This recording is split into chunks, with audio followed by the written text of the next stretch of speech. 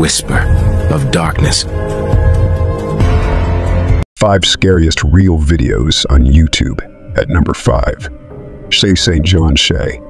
St. John is without a doubt one of the creepiest characters to ever emerge from YouTube. As described by the performance artist who created her, the Shay St. John character is a woman who was horribly disfigured in a car crash but rebuilt her scarred body using old mannequin parts. Shay St. John's most popular video involves the half-mannequin creature doing her quote-unquote hand thing. Twisted wooden hands move back and forth while strange discordant music plays in the background. Shay St. John cannot really be summed up in one video. But luckily there is an channel devoted to this creepiness at number 4. It's EDM many people have seen the videos of some creepy old man lip syncing along the famous songs like Roy Orbison's Pretty Woman all the while, making some strange facial expressions. However, what makes this video truly disturbing is knowing the background of the man who made the video ed was Edward Robert Mascara, a convicted pedophile and registered sex offender in the 1970s. Mascara hosted the late night show on a Kansas City TV station on the show. He introduced horror movies while dressed in a vampire costume and went by the very creepy stage name Uncle Edie by making what his popular YouTube videos. Edward Mascara was violating his court-ordered parole which stated that he was not allowed to own a computer after his videos went viral. A scare was arrested and later died in prison what makes Edaroom's video. So scary is the knowledge that when you watch an Edaroom video, you're actually watching a creepy old dead man lip-syncing popular love songs. Bye-bye number 3 Obey. The Walrus Obey The Walrus begins with a strange children's song playing in some weird psychedelic graphics. Then suddenly the tune speeds up and begins playing in reverse. Next, we see a transgender man who appears to be afflicted with some serious physical deformity is dancing around in lingerie. What looks to be the head of a clown doll in his hair, the video repeats.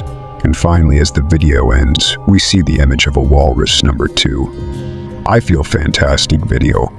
I Feel Fantastic shows a simplistic robot repeatedly singing I Feel Fantastic, You Feel Fantastic over and over in varying pitches.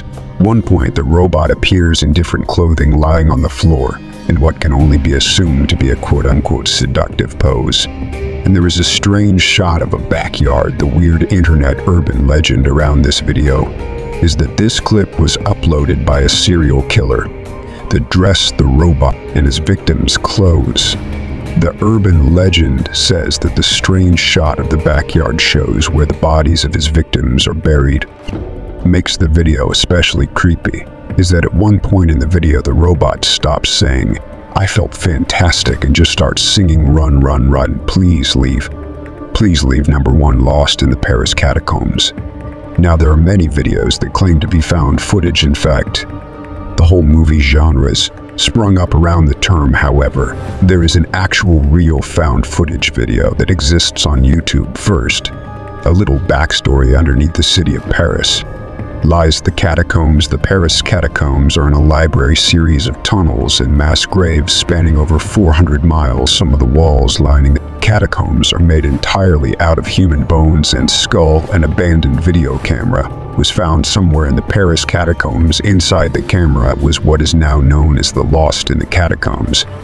But this video shows a man walking alone through the Paris catacombs.